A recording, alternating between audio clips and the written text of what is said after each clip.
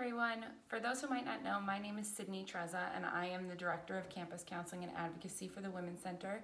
And I just wanted to take a couple minutes to talk with you all about the different services that are available to you during this time of working remote and staying home and practicing social distancing. Um, we know that it's hard, we know that it's tough, and we recognize that some people might be really stuck at home in some unsafe situations or managing some really difficult family dynamics or back in areas where things might have happened to them in the past and are spending really an extended amount of time in those places that really we weren't prepared for. So I just wanted to remind everyone that we are here for you. Um, we know that after spring break and things like that, rates of sexual violence tend to rise. And just because we're not here physically for you all to walk into the office and disclose information to us, it doesn't mean that we're not still able to support you. So we really can still provide all of the same types of services that we would provide to you in person in terms of counseling, advocacy, um, connecting you with different resources. All of that is still available. We are able to accompany clients remotely to the hospital for any kind of hospital visit related to sexual assault or domestic violence.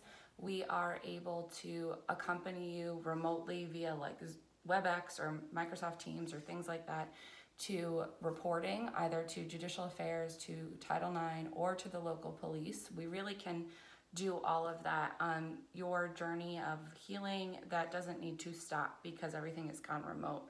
So if you or someone you know might have recently been assaulted or has been dealing with any type of dating abuse or domestic violence or anything like that, please know that we are here for you and we can support you and we can still explain all of your rights, options, resources, everything like that. And we want to help make this as easy as possible. So even if you just want to talk about what's been going on, if you've never opened up about it before, we are still here for you. Um, so you can call our hotlines. Those numbers are 203 731 5204 or 203 731 5206. And those are two 24 hour confidential hotlines.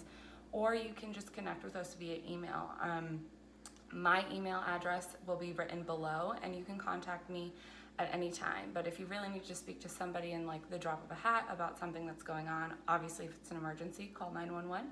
But you can always process stuff with our counselors. We can help safety plan.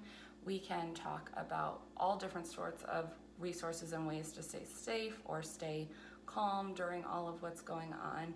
But really, just bottom line, please know that we are here for you and reach out to us if you need anything. All right, thanks for listening. Bye bye.